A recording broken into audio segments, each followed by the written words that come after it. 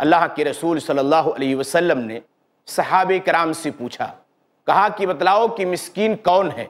صحابہ کرام نے کہا کہ اللہ کے رسول، ہم تو یہ جانتے ہیں، مسکین وہ آدمی ہے جس کے پاس نہ درہم ہو، نہ دینار ہو۔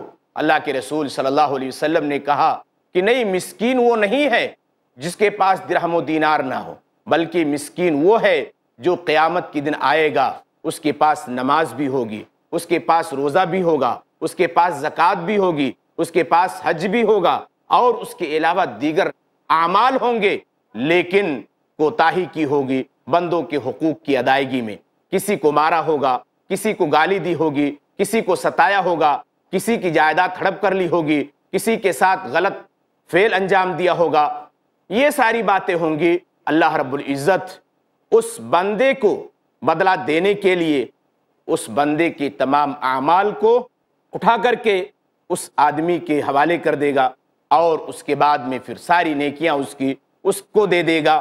اور اگر اس کی خطائیں باقی بچتی ہیں تو ایسی صورت میں پھر سامنے کا جو بندہ ہوگا، اس کے گناہ کو اٹھا کر کے اس کے اوپر لاد دیا جائے گا۔ تو اللہ کے رسول صلی اللہ علیہ وسلم نے کہا کہ مسکین یہ آدمی ہے کہ نماز بھی ہے، زکوٰۃ بھی ہے، روزہ بھی ہے حج بھی ہے، صدقہ و خیرات بھی ہے، ساری دیگر عبادتیں بھی ہیں، لیکن اس نے بندوں کے حقوق کے اندر کوتاہی کیوں ہوگی؟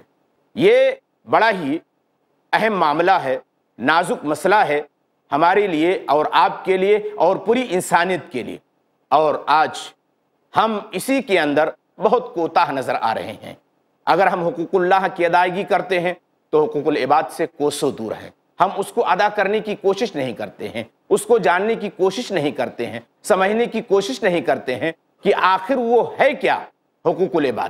بندوں کے حقوق ایک بندے کا دوسرے بندے پر کیا حق ہے؟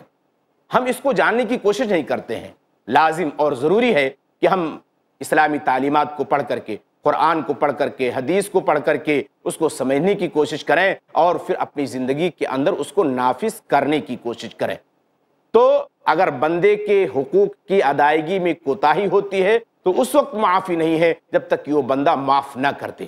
اسی لیے حقوق العباد کی ادائیگی کی بڑی تاکید آئی ہے اور قرآن و حدیث میں اس کی یعنی بڑی توجہ دلائی گئی ہے